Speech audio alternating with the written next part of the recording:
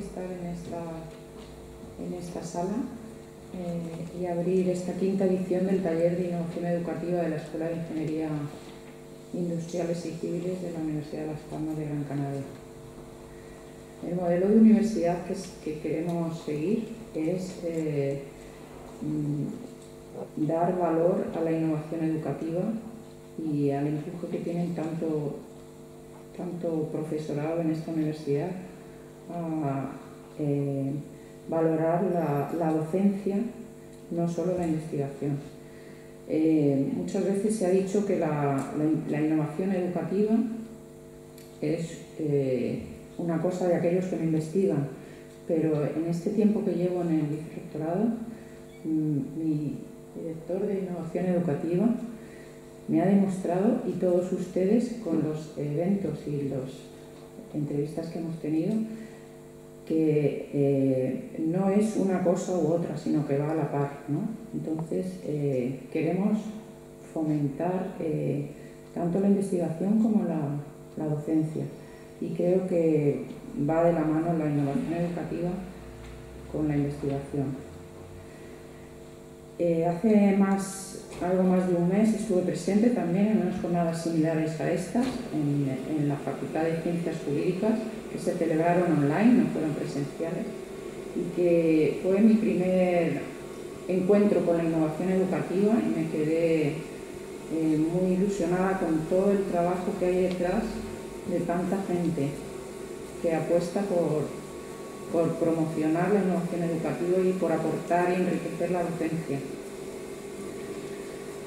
Eh, de esta manera, en el, equipo rectoral estamos queriendo fomentar estas sinergias entre los grupos de, innovación educativa y la semana pasada hicimos un evento en el que eh, eh, invitamos a todos los grupos de innovación educativa en el aula de piedra a tener un, un encuentro y que aportasen sus trabajos, ¿no? con un nuevo modelo pecha-cucha de presentación que algunos se animó como, como modelo de innovación educativa en las presentaciones, que a veces era un poco estrés, pero yo creo que salió bien, fue un encuentro muy agradable y sirvió para establecer esas sinergias entre los diferentes grupos de, de, innovación educativa que están trabajando en la universidad. Como probablemente sepan, la NECA ya en diciembre del año pasado anunció que el último trimestre de este año iba a lanzar los sexenios docentes y, la innovación educativa es un reflejo del sexenio docente. Entonces, eh, también sé que se está, mm, precisamente ahora en estos momentos hay unas jornadas de ANECA que están... Eh, anunciando el programa Academia, que es la acreditación a titular de universidad y a catedrático de universidad. Y sé que algún catedrático de universidad de esta universidad le han echado para atrás la acreditación a la cátedra por no pertenecer o no tener eh, participación en innovación educativa. Entonces, todavía esto pone más en valor la necesidad de apostar por la innovación educativa. Entonces, eh, yo, quiero agradecer eh, a Ángel Fidalgo Blanco por el soporte clave en esta institución que está teniendo en estos momentos para, apoyar este evento y toda la innovación educativa en la Universidad de Las Palmas.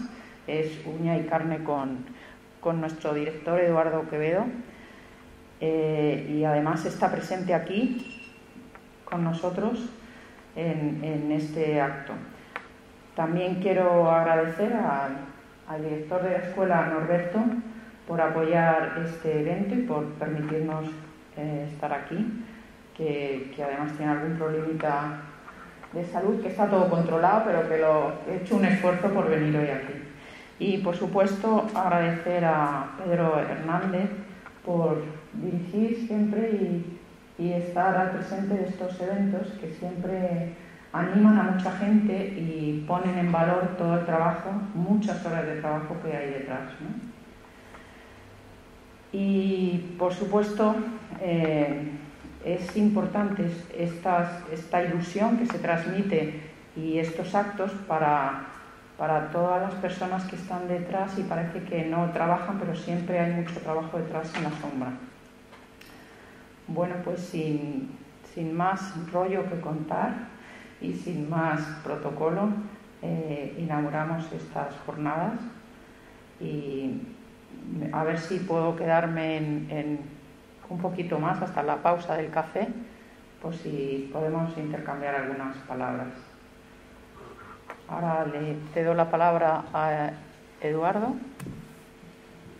Muchas gracias, Cecilia. Em, por mi parte, no añadir nada más. Creo que la vicerrectora ha expresado muy bien todas las líneas que estamos trabajando. Ahora yo realizaré también una presentación, en cualquier caso sobre todo para que conozcan las líneas em, que estamos trabajando para la próxima convocatoria de proyectos de innovación educativa que esperamos lanzar en breve. Muchas gracias. Mm.